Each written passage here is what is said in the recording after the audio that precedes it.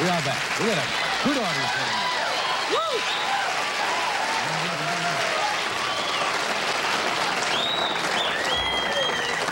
A little sip of coffee.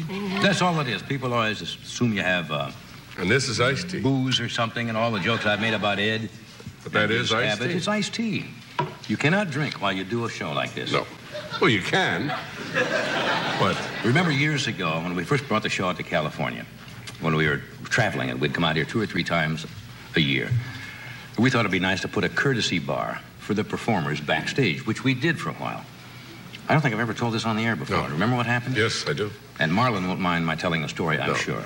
And Marlon Brando, we had champagne. And Marlon was the last guest on the show. And I still remember the Zsa Zsa Gabor was out here. Mm-hmm. And Marlon sat back there, and for about an hour and a half, Had a lot of courtesy. which is a lot of courtesy.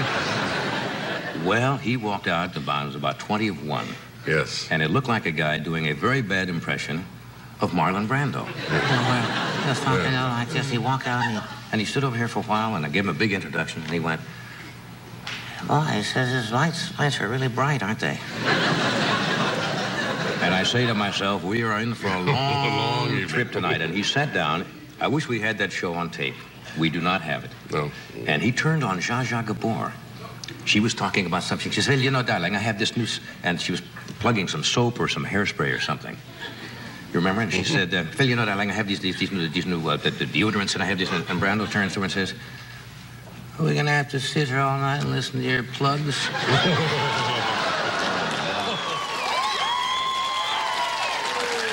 that reception. Isn't that nice to hear all that? That's very nice. Screaming and yelling and Yeah. so forth. You know, I, I haven't seen you since the night of the uh, April 9th in the Academy Awards. Academy Award and, night, uh, right. We ran into each other there, and I just want to say that I think for the first time in the history of awards, ever since I was a little kid, I've been watching. It was it was funny and it moved Oh, and it was a absolutely. total delight. Thank you. Really, That's nice. you know, Thank you. yeah. That's nice. So it's nice to be there. It really was. That was, a, that was an interesting evening from, from many standpoints. Of course, uh, since then, John Wayne has died.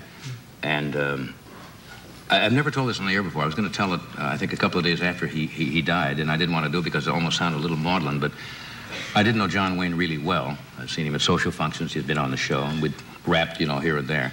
But to show you the kind of a man he is, and this, this says something about the character of the guy, that uh, he went to the hospital, you know, immediately after that, and really never came out of the hospital. In about 10 days after the Academy Awards, I got this letter at home. This is John Wayne. I said, my gosh, and I opened it, and it was a note from John Wayne saying, I just, just says, Dear Johnny, I just wanted to tell you how appreciative I was of how gracious you were to me and how comfortable you made me feel during the Academy Awards, and you did a wonderful job, and signed Duke Wayne. Wow. And I said, my God, I said, here's a guy who's got all of these personal problems, you know, and still took time out while he was in the hospital to send a note like that. Yeah, And but it meant, it meant a great too. deal, and that was, that was special for me. That was- and I really kind of you know, people can do things, but boy, when you do them when you're down like that, it's oh. something else. Oh.